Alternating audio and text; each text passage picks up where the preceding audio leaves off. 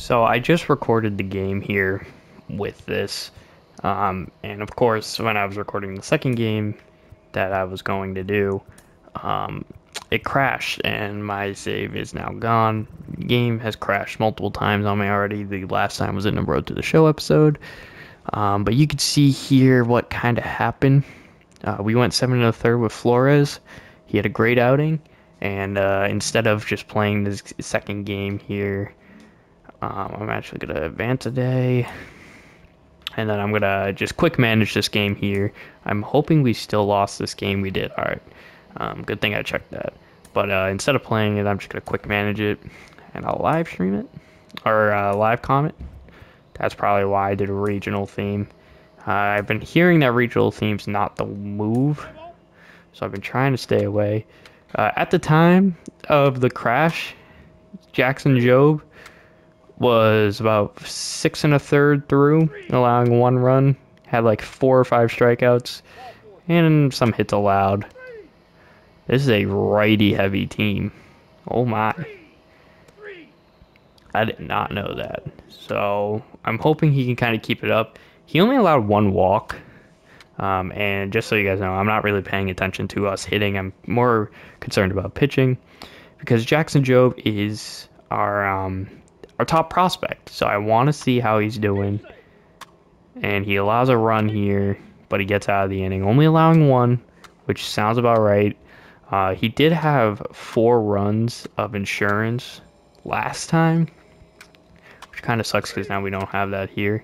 But Jackson Jobe, uh, he has five pitches, basically the same five pitches as um, like Wilmer Flores does, um, or very similar. I don't know if they have the same. I feel like once a runner gets on, I'll uh, take him out. But he gets through seven. And he get an RBI double. So now we have a lead. Let's see if I can. All right, yeah, we'll uh, we'll take him out. Seven innings, good work. He got four strikeouts, a 1.290 ERA. This was his first appearance of the year, uh, so that was all in this game. I am gonna go to this guy here. Walks the first batter, pop out, strikeout. Fielder's choice. All right, so we get out of the game. Now we'll go for the win here. We're gonna bring upon our closer, Zabala. And we get out of the game. So we ended up winning here. Jackson Jobe, one player of the game. He had about seven innings pitched, one third less than um, what's his face over there. He had four strikeouts, two walks, one earned run, one run allowed, and six hits allowed. So if we want to compare that, as he is our top prospect, he's the one I care about.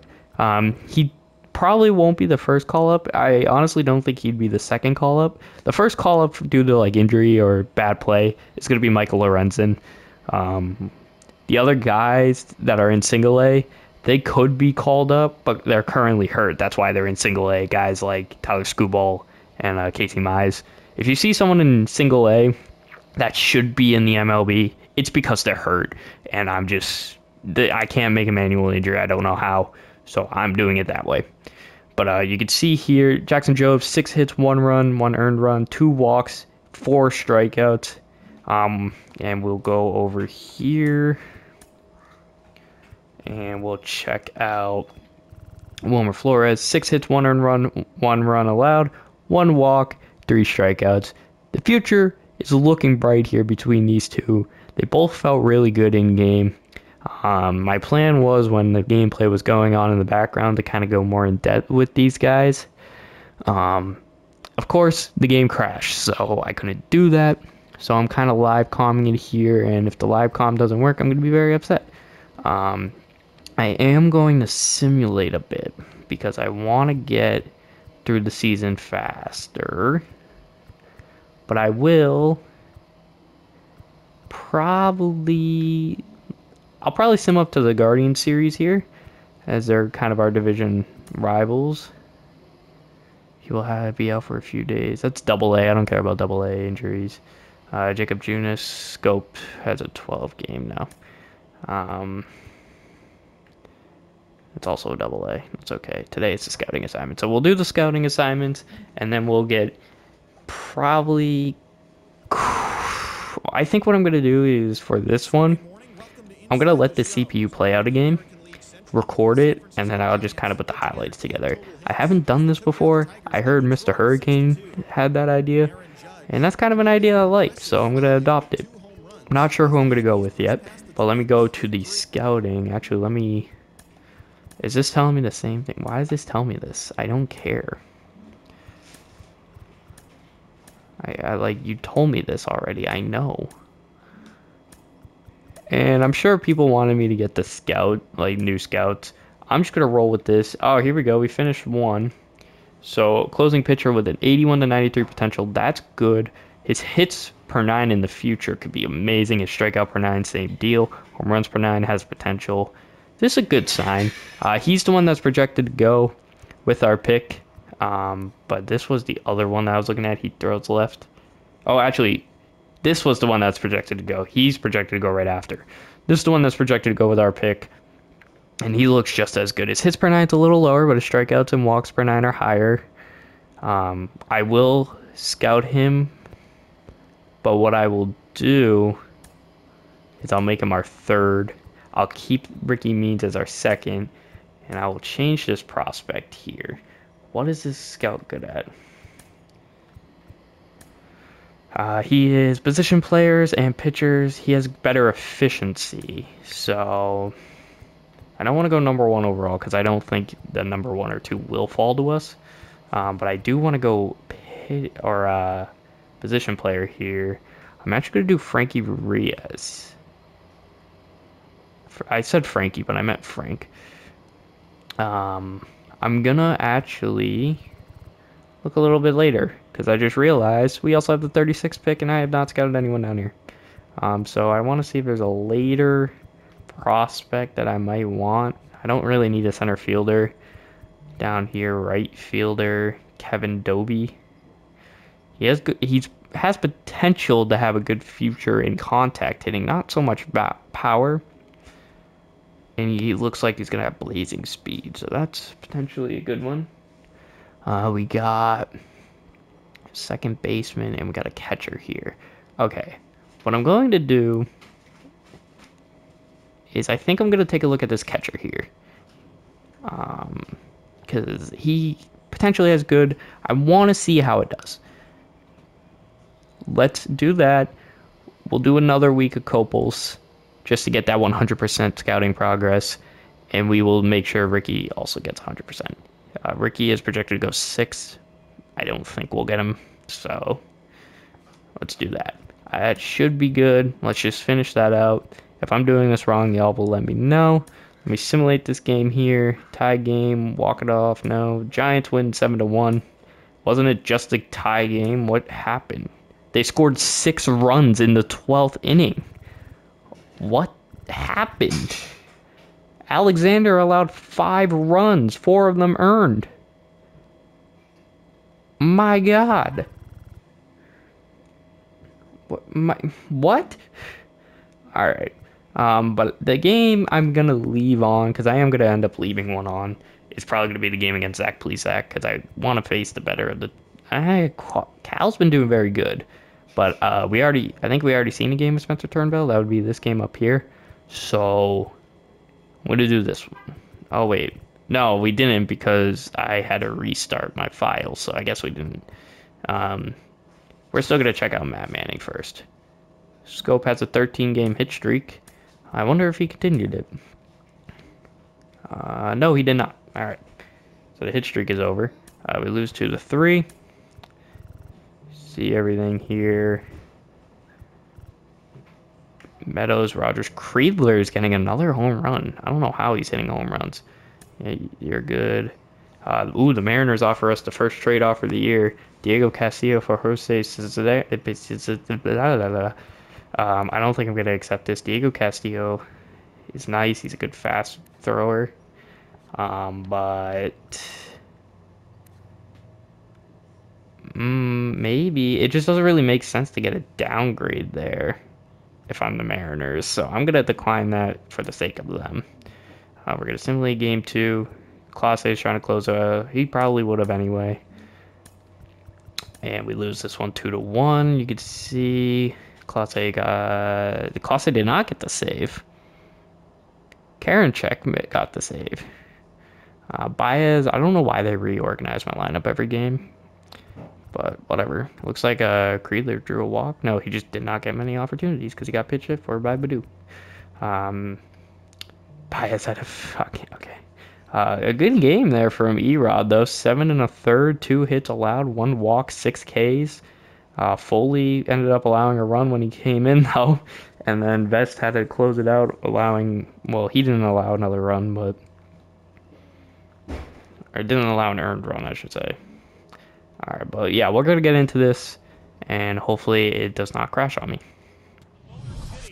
Comerica Park is the site of the game today as the 3 and 14 Detroit Tigers host the 14 and 4 Cleveland Guardians. Pitching on the mound today is Matt Manning, who had a decent first three starts. I mean, still a 4 ERA, which is not that great, but he would proceed to throw a pretty nice game here today. See the first inning here, he starts off with a flyout on Andre Giménez. Giménez, I don't know why I always struggle with saying his name, far out number one. And you'll notice throughout this game that I let the CPU just play each other. I was not in the room when this game was going down till about the seventh inning. And uh, at that time, I started doing something else anyway, so I still wasn't paying attention. So this is just CPU or CPU gameplay. I I just wanted to get some more content out for you guys, so I thought this was a good way to do it. But to start off, you see Matt Manning works three pretty strong innings, and now we go to the bottom half of the first, where it's Aaron Civale on the mound first four games, he's had a pretty nice start, and he would look to continue to do that in this game. And his first batter he would face would end up being Jonathan Schoop here in a 2 2 count. And Schoop waves at a cutter away for out number one. We then go to the later on in the inning where Miguel Cabrera would fly out, and both pitchers work a solid first inning here to keep their decent years going on as they hope here at Comerica Park. We then get into a little trouble with Matt Manning with a 3 2 one out situation in the top half of the second, but a ground ball 6 4 3 double play would get him out of the inning here. And two good innings there for Matt Manning and the Detroit Tigers defense. On the other end of the spectrum here is Civale looking to work his second inning with a runner on and a 3 2 count. Pitch hangs over the middle, and Spencer Torkelson did not miss it. A two run shot to the bullpen there is I don't know what number home run of the year. His second home run of the year goes nearly 400 feet, and he gives the Tigers the lead here early in the second inning. Later on the inning, two runners on, Jonathan Schoop has a chance to do some more damage, but he pops out to foul territory where Bo Naylor would make the catch. But still a good start here for the Tigers, who are struggling this year at 3 and 14. They need something here, as there's not many fans in the stadium. Well, I guess it's a little bit more packed than I thought, but Matt Manning continued his jam going through the third as he quickly gets this inning over with, and he would continue this process into the fourth too, as two outs on Josh Bell in a 2-0 count, he would cause a fly out to right field, right where Austin Meadows is, to work four very solid innings so far in this game but we need him to do at least five, and that's what we were going to get here with two runners on and two outs. It's Bo Naylor here, and Matt Manning stays in. He does hang a curveball, but he causes a pop up in the foul territory where Matt, I think that's Nick Maton or Maton. He runs over makes the catch. Five scoreless innings here for Matt Manning. On the other end, Civale pitched pretty good but he got taken out by Pilkington and Jonathan Schoop. His first at bat against Pilkington, he drives it in the left field for his sixth home run of the season and to extend the lead to three to nothing. Our best power bat right there, that is Jonathan Schoop showing off why he's the best hitter on the team. Go to the next half here. It is Matt Manning continuing his gem here as he strikes out Jose Ramirez, looking to end the sixth inning and he would carry that momentum on to the seventh here as it is bases loaded, one down. Huge jam right now with George Valera up, and he would cause Valera to pop up in the shallow left field. I forget who's playing. I think it's Vierling.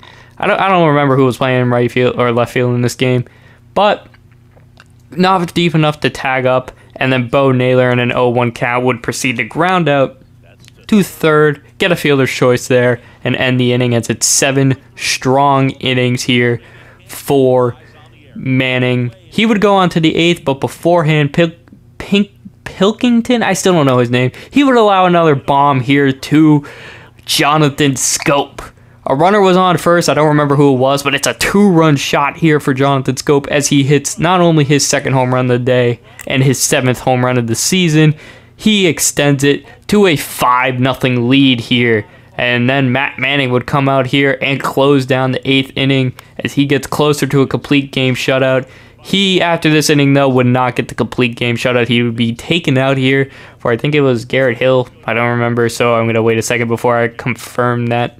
And it was Garrett Hill who was struggling on the year. We were kind of hoping that he would get out of this jam and kind of pick up his season. But with two on and one out, Amed Rosario would hit a base hit in the right field. Austin Meadows, if he had an accurate throw here, I think he would have got whoever that was rounding third eh, going into home. But it's five to one now, and then we didn't mess around. We put Alex Lange, our closer, two for two on closing opportunities. Pitched four innings. Right-handers are hitting pretty well off him. I didn't realize that. But with the bases loaded and two outs, he would proceed to hit a ground ball to Giménez, and the Tigers would win their fourth game of the year at a score of five to one.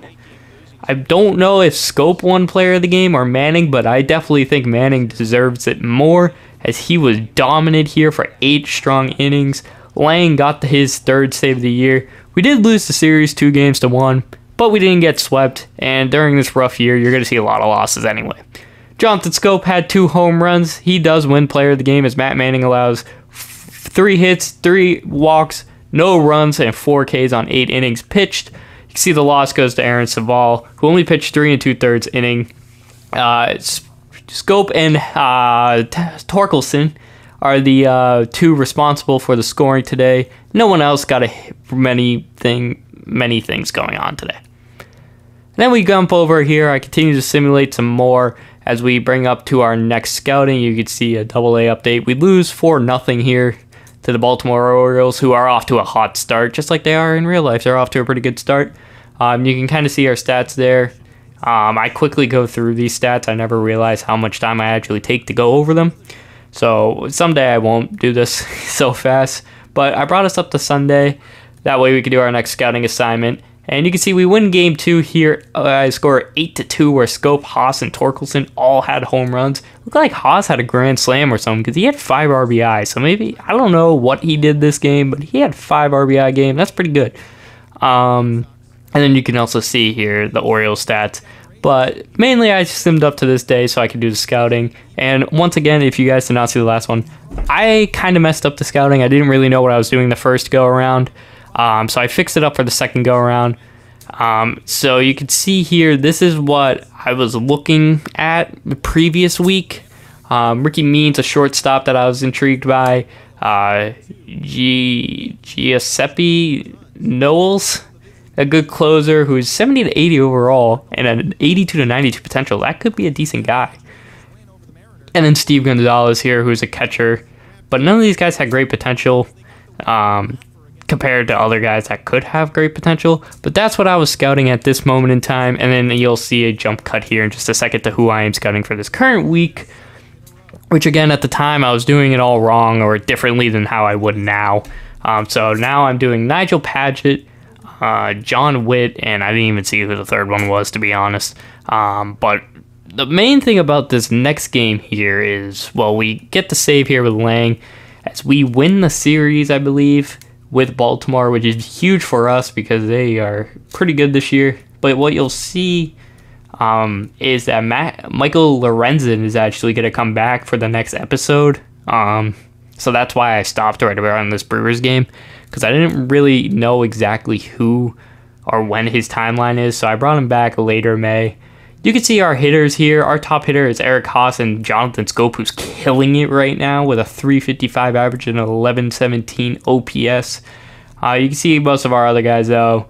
I mean, 200 to 250 is kind of the range, um, batting average wise. The OPS on some guys aren't even that high. I mean, we're sitting here with what, Akil Baddoo not doing good. Um, Matthew Boyd is actually our best pitcher, even though Matt Manning threw a gem last game. Um, they're pretty much our one-two right now. Spencer Turnbull has not been doing well. Same with Joey Wentz. Erod's been doing horrible. Uh, Garrett Hill and Jason Foley have been really our worst pitchers. Will Vest as well out of the pen. Um, but some decency there. But you can see with Michael Lorenzen coming up, he's back from his quote unquote injury that he would would have had in real life. So with the struggling Erod, I ended up sending him down to AAA. Hopefully he can turn it around. And I would call up Michael Lorenzen, who would slot right in and play the next game. I gave him some time in AAA since I think he was supposed to be back middle of the month, but I couldn't remember. So I gave him time in AAA, and now he will be back for the next episode. Guys, thank you all for watching this episode, and tune in next time to see Michael Lorenzen and the Tigers as he makes his season debut. Guys, thank you all for watching, and until next time, talk to you all later. I am out. Peace.